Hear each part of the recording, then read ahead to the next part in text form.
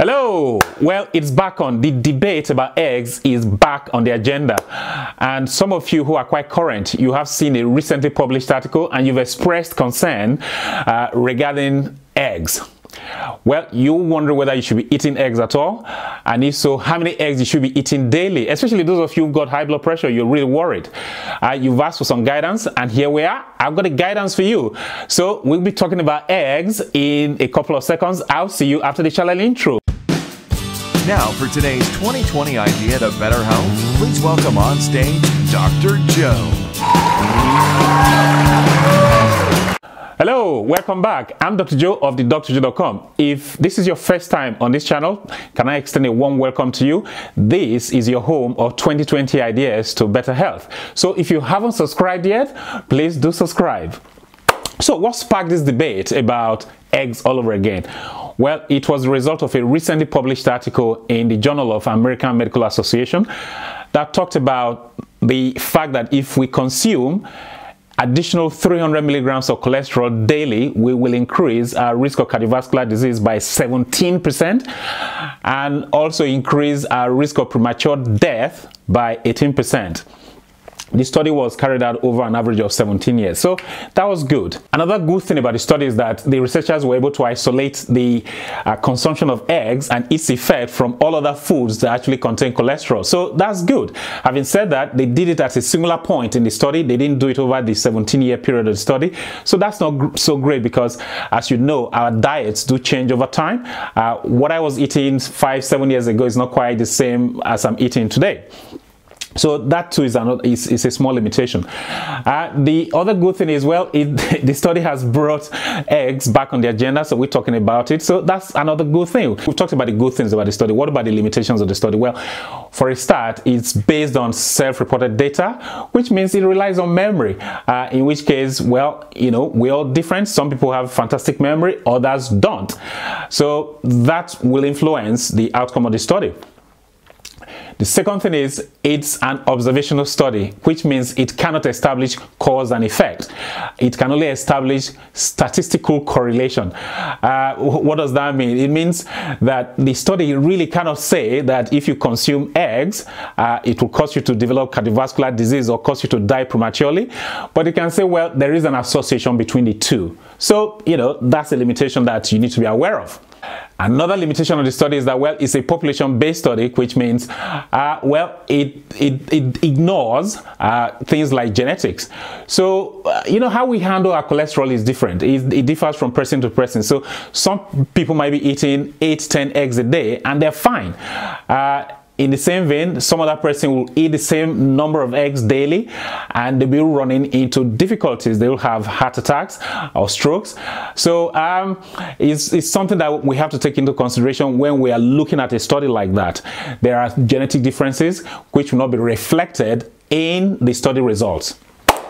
In fact, there's research evidence to suggest that eating eggs is actually good for HDL cholesterol, which is a good cholesterol. So there you go. You know, that's the thing about nutritional studies. Uh, we tend to get conflicting results. So one study is saying it's bad for you, another study is saying it's good for you. uh, you, you go figure. So, um, the next question then arises, should you be eating eggs? Well, of course, yes is the answer to that question. Uh, you should eat eggs if that's what you want to do uh, because eggs are nutritious. They are wholesome food. Eggs contain uh, macronutrients as well as micronutrients. Uh, they contain proteins, they contain a small amount of uh, carbohydrates. They are low calorie food and, you know, they also contain vitamin B2, vitamin B12, vitamin B6, uh, iodine, magnesium, vitamin A, vitamin D. Uh, so they contain a whole host of nutrients. So consuming eggs should constitute part, part and parcel of, of your diet actually. Uh, I will encourage it. And then the next question then arises, how many eggs should I eat daily? Well, as far as I'm concerned, you can eat up to three eggs daily without any problems. The reason for this is this you are allowed 300 milligrams of daily consumption of cholesterol.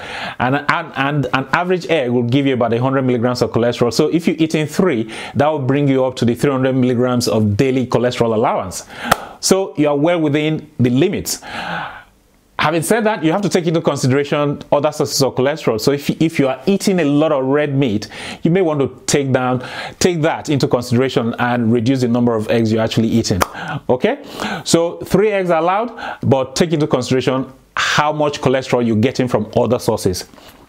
Next question is, if I've got high blood pressure, how many eggs can I eat daily? Good question. Well, here's the thing. If your high blood pressure is well controlled okay if your blood pressure is well controlled then you can eat the same number of eggs as somebody who hasn't got high blood pressure. Simple as that. You can eat the same three uh, eggs a day taking into consideration your other sources of saturated fat okay?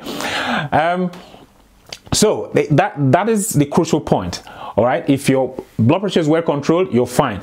But if your blood pressure is not well controlled and you've got other risk factors then of course you want to reduce the number of eggs you eat daily. It sort of makes sense.